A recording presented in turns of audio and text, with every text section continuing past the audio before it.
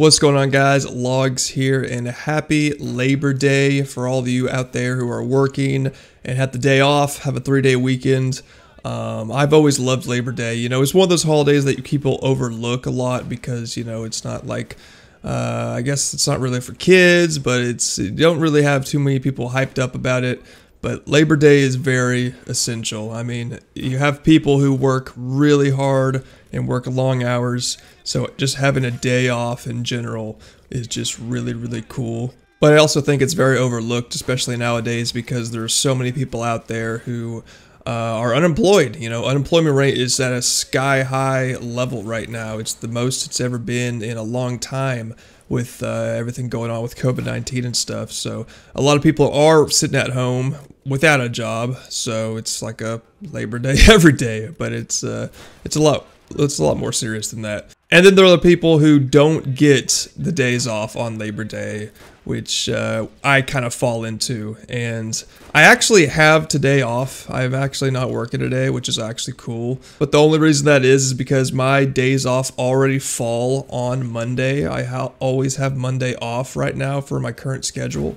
So it's not like a, a planned thing that I have Labor Day off just, you know, given to me. If you guys don't know, I am a police officer, so we don't really get holidays off. Um, it would be funny though if you call 911 on Labor Day and say, "Hey, I just got robbed," and they tell you, "Well, sorry, police aren't in today. They uh, they had the day off." You know, it would kind of turn into like the purge, where 24 hours just anyone can commit any kind of crime whatsoever. Which also is you know something that a lot of people probably wouldn't mind. You know, getting rid of the police, abolishing the police. That's a hot topic right now, and you know I'm all for it, man. If you get rid of us, hey, that's awesome. I'll sit back on the sidelines. I'll see how it unfolds. And when you beg for us to come back, hey, just pay me more and I'll come back. I mean, I'm all for it, man. I would love to see uh, how that plays out for everyone who's, you know, advocating for that. But uh, yeah, Labor Day, it's a day that, you know, I usually don't have off. I have uh, haven't had this day off actually in like four or five years now. Um, just being a police officer, I've always worked on the holidays, and this day I pretty much have every day off for the holidays. Um, except Thanksgiving, which when I say I have to work on holidays, I could always ask for a holiday off, but it's not always given, you know, especially right now. If I asked for a day off now, they probably wouldn't give it to me, to be honest, because we have so few people working. I mean, we're like 80 officers below minimums right now at the department I work at. So it's it's very very hard to get a day off right now because so many people quit, so many people retired, and they just left to do another, any other job except being a police officer. But even before being a police officer, I've always worked jobs that you know you don't really think about, but jobs that just you can't take a day off.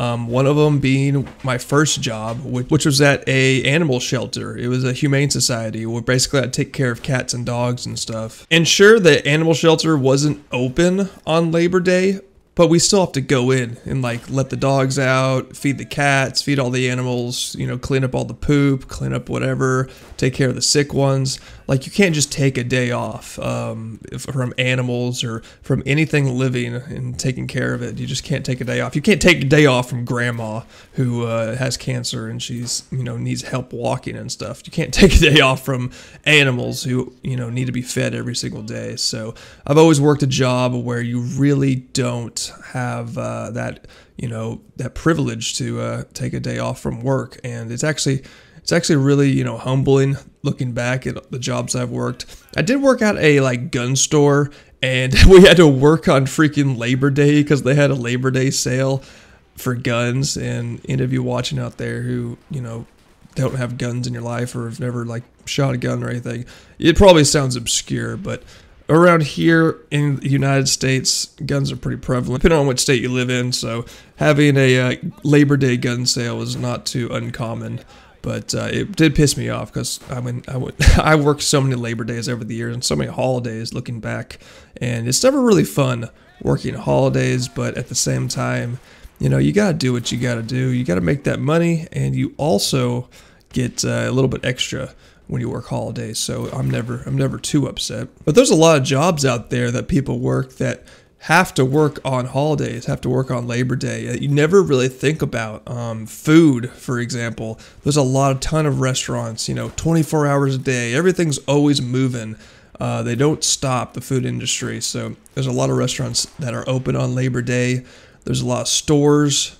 Um, I think Walmart is open today, and they just cut the hours a little bit, but there's a ton of people that work on Labor Day. It's not that big anymore. Like, not too many people actually celebrate the holiday, which is crazy to me because I always thought, you know, you work so long and you do all these time, you deserve a three day weekend, which is what it is. And a lot of places, you know, they still work and they're still open on Labor Day. And I, I just don't agree with that. I think if you have a holiday specifically for people taking a day off from work, you know, everyone should kind of like follow it and celebrate it.